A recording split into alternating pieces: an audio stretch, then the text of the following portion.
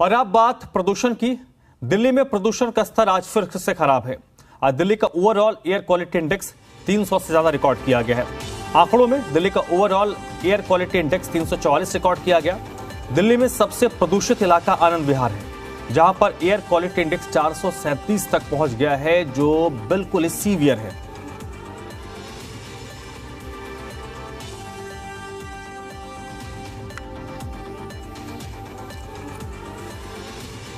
तो जिस बात का डर था, जिस बात की आशंका थी कि दिवाली के बाद प्रदूषण का स्तर एक बार फिर से बढ़ेगा और ये तीन तस्वीरें आपको हम दिखा रहे हैं। दिल्ली के अलग अलग इलाकों की है। अक्षरधाम, आनंद विहार और एम्स की। आज सुबह जब लोग लोगों की नींद खुली या लोग सड़क पर आए तो धुंध छाई हुई थी। सबसे खराब स्थिति पूरे दिल्ली की बात करें तो वो आनंद विहार इलाके की है, जो पूर्वी दिल्ली के अंतर्गत आता है। यहाँ पर एयर क्वालिटी इंडेक्स चार सौ चौंतीस है, जो बेहद खतरनाक स्थिति आप कह सकते हैं। इसका अलावा ओवरऑल अगर हम दिल्ली की एयर क्वालिटी इंडेक्स की बात करें तो ये 300 के पारे हालाँकि अलग अलग पॉइंट्स पर अलग अलग एयर क्वालिटी इंडेक्स रिपोर्ट की गई है। लेकिन एक एवरेज की बात करें, औसत की बात करें, ये देखिए अक्षरधाम मंदिर है। और अक्षरधाम मंदिर आपको क्लियर नज़र नहीं आ रहा होगा, धुंध के आगोश में। अक्षरधाम मंदिर आपको नज़र आ रहा होगा।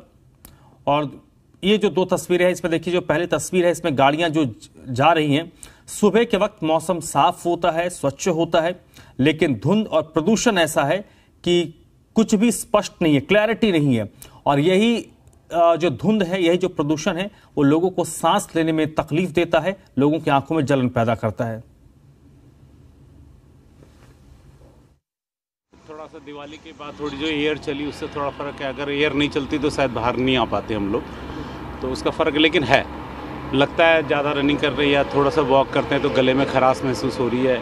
रनिंग नोज़ भी है पॉल्यूशन महसूस होता है। बच्चे से लेकर, अगर बुज़ुर्ग की बात करें तो बच्चों को भी वही सेम प्रॉब्लम हो रही है आजकल जो बुज़ुर्ग को जैसी है। उनको भी वही खांसी, जुकाम, वो दूर ही नहीं होता। ब्रीदिंग प्रॉब्लम आज बच्चे को छोटे छोटे बच्चे को हो जा रही है। अगर वो घर से नहीं निकल रहे हैं, जो भी है। और बुज़ुर्गों के लिए तो आप सोचिए, बिल्कुल इतना मुश्किल है। मीडियम मेरी एज करीबन फिफ्टी है और मेरे लिए बहुत खुद मुश्किल हो रखा है। तो बुज़ुर्गों के लिए तो बहुत भारी है। लेकिन अब नहीं निकलते हैं तो सारे दिन भर घर पे भी कैसे बैठेंगे? लेकिन प्रॉब्लम बुज़ुर्गों के लिए बहुत है। तो दिल्ली के पॉल्यूशन के बारे में तो सभी जानते हैं। बाकी वो बात सही कही कि गाड़ी तो बढ़ी रही है, उसके साथ डस्ट का ज़्यादा वो है। और हर चीज़ में आजकल प्रॉब्लम ये देखो, हमारे गले से ही पता चल रहा है बात करने से ही कि दिवाली के बाद और ज़्यादा क्या फ़र्क पड़ा पोल्यूशन की वजह से तो देखो, बच्चों में भी, बड़ों में भी फ़र्क तो बहुत पड़ता है। बीमारियाँ हैं। ये मौसम चेंज करने के इसी इसी टाइम में आती हैं सारी। जितनी भी बीमारियाँ सब, जैसी मौसम चेंज होता है, तब आता है। इससे पोल्यूशन से भी और ज़्यादा फ़र्क पड़ता है। गवर्नमेंट ने भी कदम तो बहुत उठा रखे हैं पोल्यूशन के लिए। जगह जगह एयर वो लगा रखे हैं कि बाकी मेरे ख्याल से तो ऐसा है नहीं, क्योंकि जिस तरीके से व्हीकल बढ़ते जा रहे हैं। पॉल्यूशन से बहुत सारी दिक्कतें होती हैं, बीमारियाँ, सांस, ये अटरम सटरम काफ़ी आदमी के स्वास्थ्य पर डिफेक्ट पड़ता है इन चीज़ों का, और पॉल्यूशन नहीं रहता तो एकदम सही रहता है। तो दिक्कत तो होती है पॉल्यूशन से। आम जनता अगर करे तो पॉल्यूशन बिल्कुल ख़त्म हो जाएगा।